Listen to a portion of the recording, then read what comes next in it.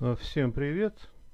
Э, сегодня поговорим о программах э, для создания резервных копий и разметки жесткого диска. Таких программ всего лишь несколько. Это программа, я буду говорить о программе Acronis и о программе Paragon. Э, то есть для того, чтобы создать э, резервную копию своей э, операционной системы Windows, вы можете использовать эти две программы. А также можете при помощи этих программ значит, изменять размеры разделов жесткого диска и еще там делать ряд определенных функций. Всем рекомендую, значит, для того, чтобы иметь копию своей э, значит, винды, э, иметь нужно внешний жесткий диск. Он может быть или старого образца, скажем так, или может быть более современный SSD, Solid State Drive, ну это как флешка. Если в поисковой строке завести такое вот словечко, а, то здесь вот у вас подкинет вам кучу всего, чего, где это можно заказать, купить. А, и смотрите сами, а, соразмеряясь со своим кошельком. Значит, вот у меня лично копия моей винды, значит, с уже установленными программами занимает порядка там 40, там 44 гигабайт. А на диске всего лишь там, по-моему, 77. Э, значит, э, практически отсюда можно и плясать. Э, значит, как определить размеры своего диска? Вот э, правой кнопкой мышки кликаете. Вот, Диск менеджмент, управление дисками. И здесь у вас будут все диски, которые у вас подключены к компьютеру. У меня вот этот диск э, твердотельный SSD, это обычный HDD. И тут же сразу написано, какая у них емкость. Вот, 476 э, гигабайт, но этот, э, ну, 1000 гигабайт или терабайт. Вот практически и все. Дальше. Очень немаловажно бывает определить таблицу разделов. Здесь вот явно они не видны. Вот нужно правой кнопкой мышки кликнуть вот здесь, затем зайти в свойства. В свойствах э, зайти, по-моему, вот сюда, в объемы, и только вот здесь можно увидеть GPT. У кого-то может быть э, MBR или MS-DOS. Это вам важно знать э, для будущих, как говорится, там действий, э, пригодится. А также вот смотрите, пожалуйста, у вас вся информация о ваших дисках, значит, вот здесь вот имеется. И даже по каждому разделу можете посмотреть. Вот у меня диск C 77 гигабайт. Вот я по нему кликаю, свойства. Вот у меня винда со всеми установленными на нее программами значит, и так далее, занимает вот, ну, 51 гигабайт. И еще 27 э, у меня свободно. Вот такие, как говорится, пироги с котятами. А теперь, значит, рассмотрим, что дальше делать.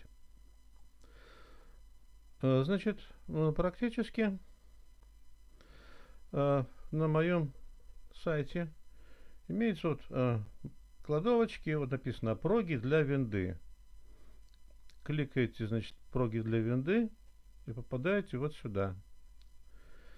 А, и здесь, значит, вот у меня выделено вот резервное копирование. Вот оно. И скачиваете вот эти три программы. Или ищите их по сети сами, э, как говорится, на ваш вкус и выбор. Ну, а здесь, как говорится, далеко ходить не надо. Это Acronis Disk Director, Acronis True Image и программа Paragon. Хорошая э, программы, проверенные временем. Сначала я начал пользоваться Акронисом, потом также им пользовался и пользуюсь. Ну, пользуюсь и программой Paragon. Значит, ну что, давайте глянем, с чего тут можно начать. Значит, э, когда вы скачаете программы, они, э, значит, у меня заархивированы, раззипуете их, установите, установите, а потом вот пойдете, ну, что там, давайте глянем, ну, давайте вот Paragon. Вот смотрите. Значит, напоминаю вам еще раз, что если у вас, допустим, та же ваша винда, она располагается вот, например, на разделе э, жесткого диска э, C, то ее уже ни в коем случае на этот же раздел э, архивировать не нужно. А нужно архивировать только на другой раздел жесткого диска, а еще лучше на внешний. Вот. А, ну, давайте посмотрим. Вот, архивирование на, они пишут тут э, VD.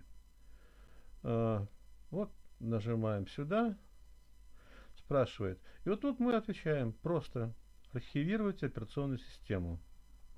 Раз. Вот он спрашивает. Вот. 64-битный указывает редакцию и так далее. Да, нажимаю, да. И вот здесь я уже указываю свой э, э, другой раздел жесткого диска, куда у меня все это дело и пойдет. Ну, у меня здесь уже все указано, и копия сделана. Значит, э, вы же, как говорится, когда все укажете, нажмете на «Дальше», там, э, значит, э, нажмете «Архивировать сейчас», и потом, значит, вот эта кнопочка у вас «Применить» будет зеленая. Вы на нее нажмете, и пойдет, значит, архивирование. Я вам покажу процесс уже, как это все дело выглядит а, диск F у меня где? Вот. А.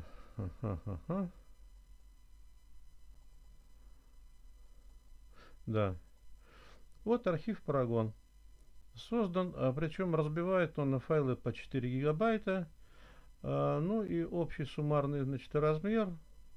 Ну, я могу сейчас так на вскидку сказать. 28 гигабайт.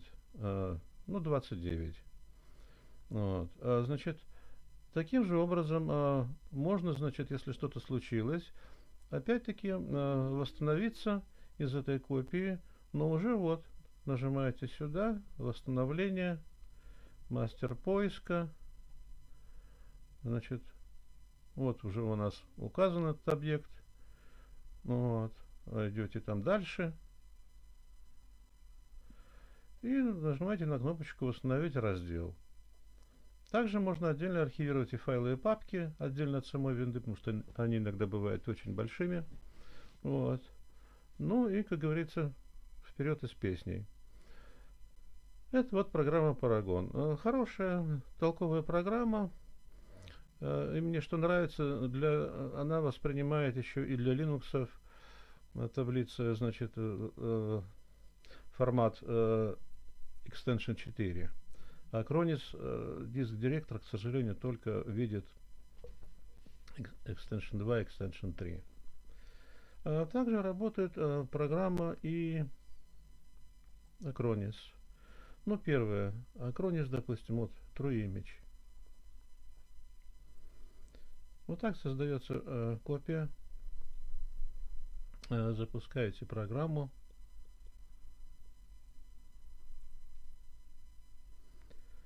Грузится она иногда дол долговато, но ничего. А если, значит, тут у вас все здесь, как говорится, пусто, то нажимаете а, «Добавить». Вот. Затем нажимаете вот сюда. А, диск а, или разделы. Вот я отменяю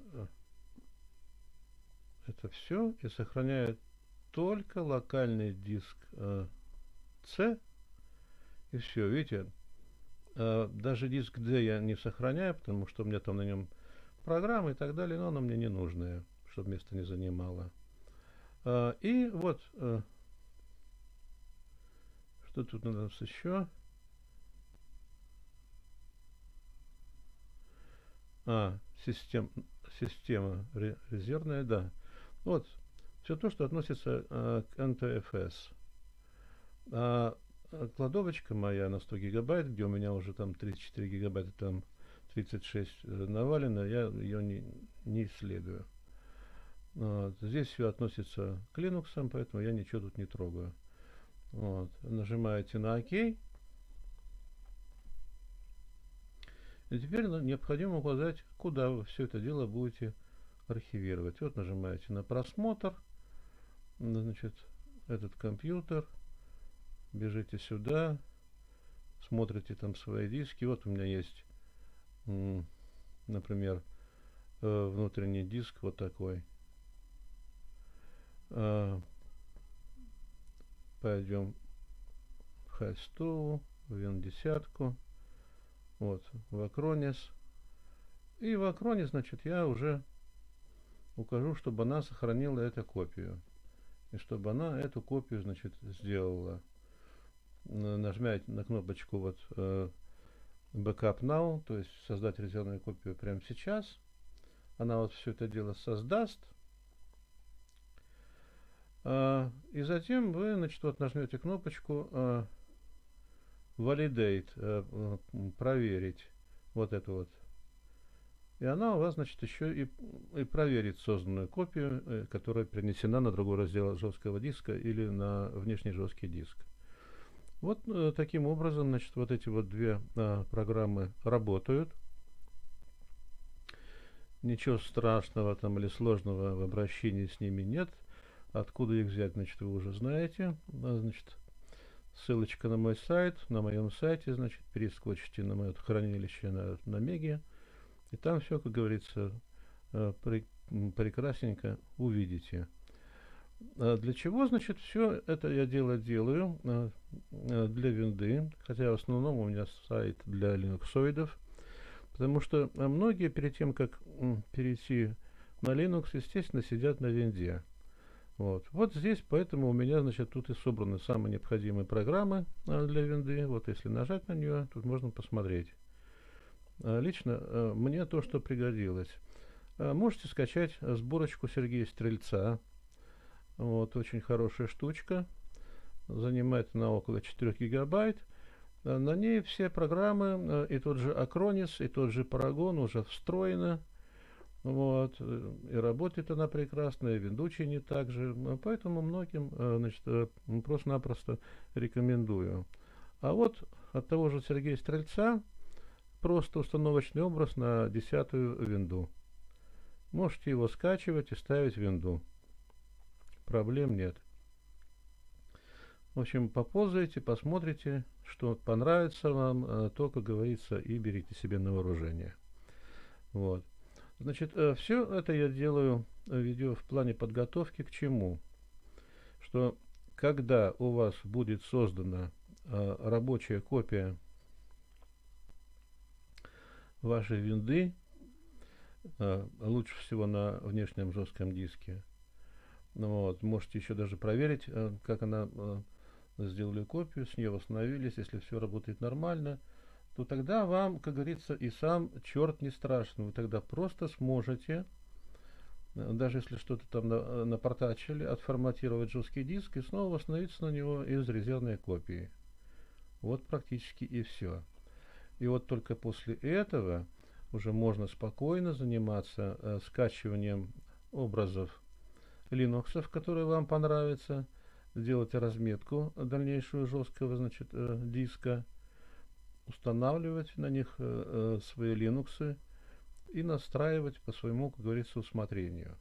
То есть это вот э, как бы первая часть видеоурока, э, который значит, необходим для того, чтобы у вас э, совершенно четко сидело в голове что э, без надежных резервных копий а на уря пытаться, значит, э, рядом там с виндой поставить э, там Linux или другую операционную систему и думать нечего. Делайте нормальный, не скупитесь, покупайте внешний жесткий диск. Значит, э, берите программы для резервных копий, покупайте их там или скачивайте там откуда вам угодно. Вот. И затем, значит, э, создавайте резервные копии. Сделали резервные копии, э, тогда, значит, вот в другой части, в следующей части этого видеоролика я вам расскажу об основных э, операционных системах Linux, наиболее любимых пользователями. Покажу, откуда их можно скачать и как скачанные эти изообразы, значит, э, проверить на каких на программах э, и как их записать на флешке. Вот это будет уже как бы вторая часть видеоролика. Ну ладно.